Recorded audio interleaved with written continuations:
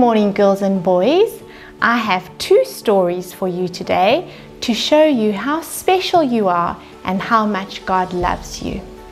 The first story is called The Lost Sheep. Jesus once told a story about a shepherd. A shepherd had a hundred sheep.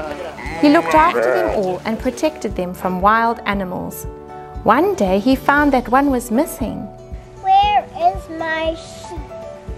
So the shepherd set out to find his lost sheep, leaving the 99 other sheep in the sheepfold. He looked high and low, behind bushes and rocks. Where could the sheep be?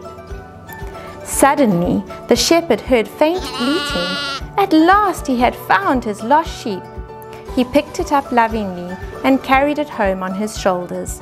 He was so pleased to have found his lost sheep that he invited all his neighbors to a party.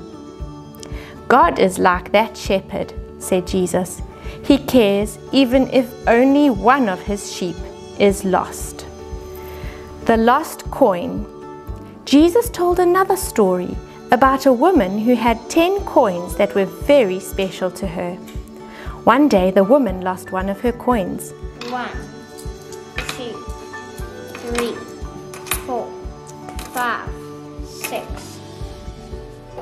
seven, eight, nine. Where's my missing coin? Her house was dark, the floor was dark, but she tried to find the missing coin. She lit a lamp, swept her house, and looked everywhere for it.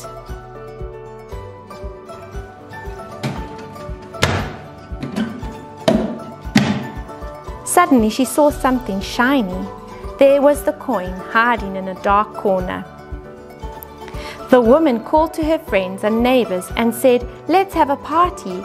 I am so happy to have found my lost coin. In the same way, said Jesus, God is very pleased when anybody turns to follow him. Each one is special, just like the lo- woman's lost coin. God wants to keep each one safe. I hope you enjoyed those two stories. Let's pray. Thank you, Jesus, that you love us so much, that you will come and search for us if we get lost. Lord, you know us each by name, and you will not stop until you find us. Thank you that we can come back to you.